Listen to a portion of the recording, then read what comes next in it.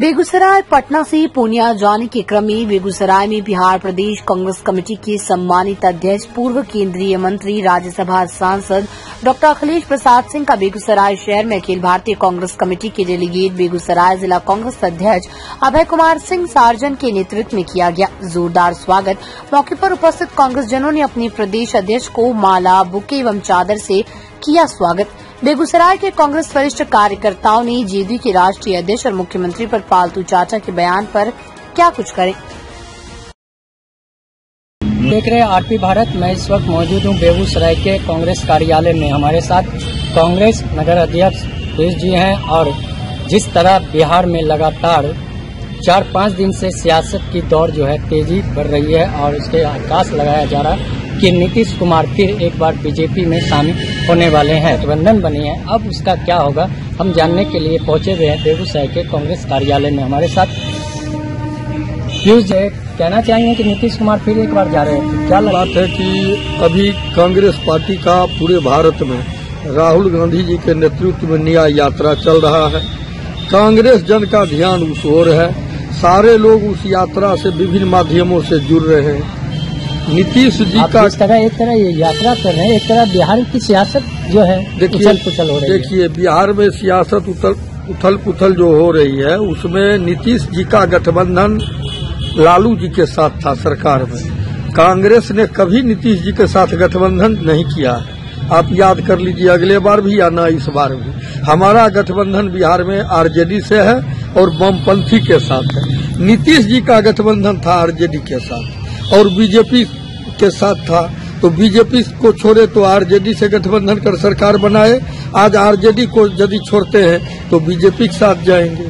तो यह इनका अपना व्यक्तिगत चरित्र है और इस पर चूँकि बड़े नेता हैं हम लोग कुछ कहना वाजिब नहीं समझते तो आप देश के बिहार के नागरिक हैं इस सर, सरकार उठा पटक है बिहार में और हमारे प्रदेश अध्यक्ष आज ही पटना से 10 बजे दिन में बेगूसराय में रुके। हम लोग जब आ, जब उनके संपर्क में कांग्रेस का विधायक होगा तो कांग्रेस के लोग भी के संपर्क में तो उनके दल के लोग भी हो सकते हैं। ऐसी थोड़ी है कि मान के चलिए कांग्रेसी विधायक उनके संपर्क में है। दल में जब है। प्रदेश के राष्ट्रीय है वो उस पर ध्यान लगाए हुए हैं। हम यह कहना चाहते हैं कि इस उथल पुथल के बीच आज हमारे प्रदेश अध्यक्ष डॉक्टर अखिलेश सिंह बेगूसराय से गुजरे यहाँ रुके। कार्यकर्ताओं का हौसला उन्होंने बढ़ाया और वो न्याय यात्रा की तैयारी में गए हैं। और जब हम लोगों ने भी बात किया सरकार पर तो उन्होंने कहा कुछ नहीं होने वाला है और जो होगा वो आगे देखिए। हम लोग को कांग्रेस को मज़बूत करना है। मज़बूत करना है। इंडिया गठबंधन में जो लोग हैं सब यह गठबंधन कोई अनिवार्य नहीं होता है। आज किसी के साथ है कल किसी के साथ मेहनत तो नीतीश कुमार किए हैं वो शुरुआत तो वही की है। नीतीश जी ने शुरुआत किया तो नीतीश जी हाँ। के नेतृत्व में ही दिया जा रहा है। कांग्रेस पार्टी का तीन हाँ। राज्य में उधर चुनाव था। आप तो नाराज़ कर दिए। कांग्रेस नाराज़ उनको कर दिया है बैठक में। कांग्रेस चुनाव में व्यस्त थी। राजस्थान मध्य प्रदेश छत्तीसगढ़ में। हम्म। कांग्रेस और उधर तेलंगाना में। कांग्रेस चुनाव में व्यस्त रहने के कारण उसके चुनाव समाप्त होने के बाद कांग्रेस दो बार बैठक बुलाई। अब देखिए, उसमें नीतीश जी भी गए, सारे लोग गए, बैठक हुई, बातचीत हुई, एकाएक ही चुके, इनको क्या हो जाता है, साल दो साल इधर रहते हैं, फिर उधर चले जाते हैं, फिर उधर जब मन भरेगा तो इधर चले आएँगे। तो सबसे दुखद बात यह है कि, एक समाजवादी विचारक थे राजनारायण जी, स्वर्गीय राजनारायण जी उनका हम कहीं एक किताब में पढ़े थे उन्होंने कहा था कि जब व्यक्ति दल बदलता है तो व्यक्तिगत चरित्र पर असर पड़ता है। लेकिन जब दल और संगठन दल बदलने लगे सिद्धांत बदलने लगे तो उस दल और संगठन के चरित्र पर असर पड़ता है। तो उनके बात को आज सत्य होते हम लोग देख रहे हैं। पहले इक्का दुक्का नेता दल बदलते बदलते थे। हम लोग सत्ता देख लेकिन आज दल ही दल बदल लेता है। एक दल जो है वह दल सहित चला जाता है दूसरे के साथ। तो नेताओं का दल बदलना अभी कम हो गया है।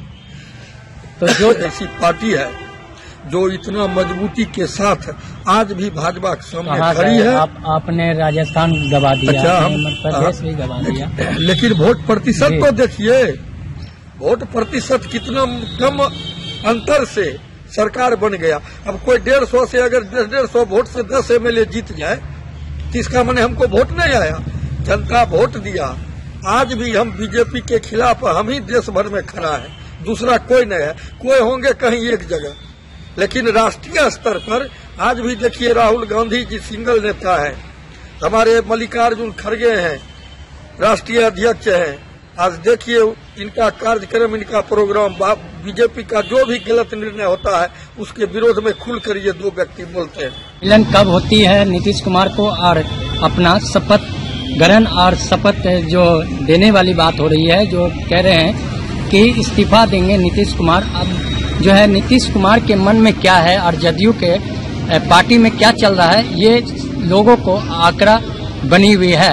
अब जो है, बिहार में जिस तरह सियासत गर्म है, उस तरह कांग्रेस भी अपना पल्ला इस जो है, पूर्णिया दौरे पर है और वो भी कहे साफ़ कि हम जो है, अभी राहुल गांधी के यात्रा में हैं, व्यस्त हैं और जो नीतीश कुमार की जो आरजेडी से जो हो रही है गठबंधन गठबंधन टूट रही है, उसको लेकर क्या कुछ कह रहे हैं?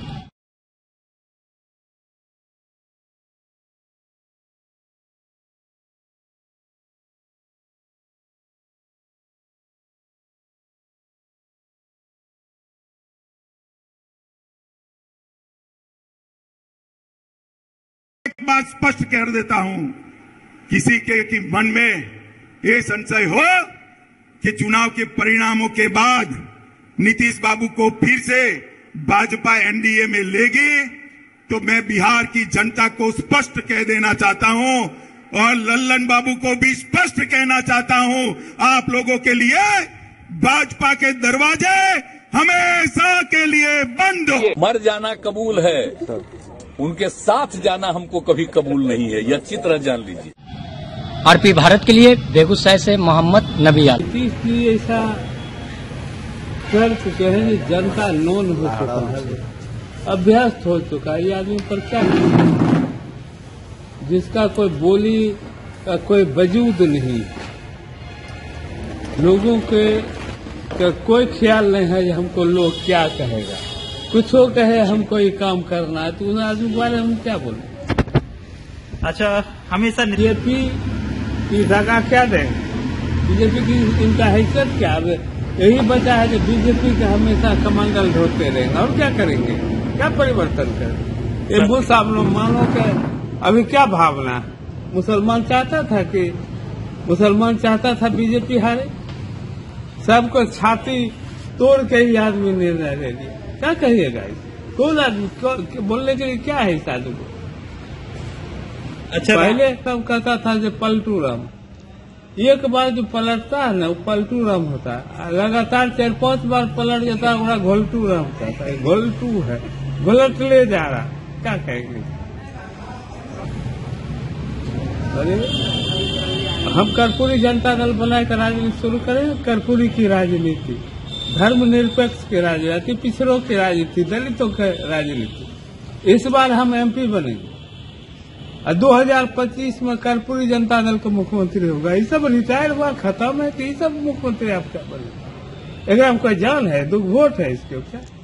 ये फिर 25 में मुख्यमंत्री हो अच्छा राम बदन राय। दमदार निर्माण का भरोसा लाल स्टील टीएमटी बार्स। हर निर्माण के लिए उपयोग लाल स्टील टीएमटी बार्स। रिश्ता मजबूती का।